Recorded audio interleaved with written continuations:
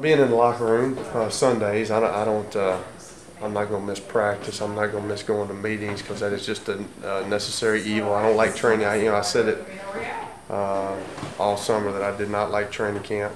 I couldn't stay. I got to the point where uh, that's what I dreaded the most going to training camp because I had to be away from them. I'm, I'm uh, early in my career.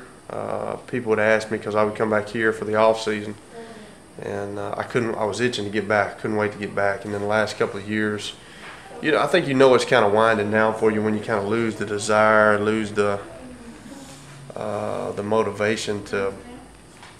I didn't want to leave. I, I kept getting, you know, coming back here, and then, you know, you get entrenched here. You start going to church. You start doing things around here, going to games, and uh, being with my family, and uh, you know, through the last three years has been hard for me to leave, and um, that's when I knew it was time that I probably needed to hang it up. But I, I'll miss I'll miss being around the, my buddies in the locker room.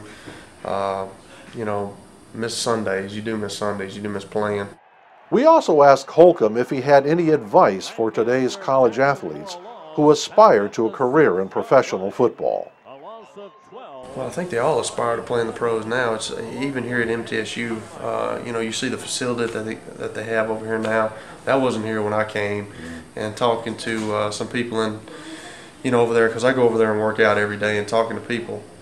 Uh, you know, guys look for that nowadays. You know, they want they want to see the the plush weight rooms. They want to see the plush dress, you know, dressing rooms. They want to see the nice training room. They want to see the the football field.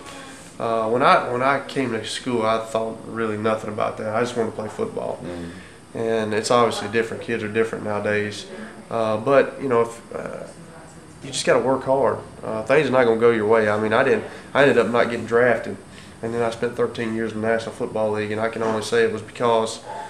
Uh, one that I came here and I was under Coach Donnelly and Coach Robbins and all the guys that you know that coaching staff were good people. Uh, you know, uh, they taught you how to be a man.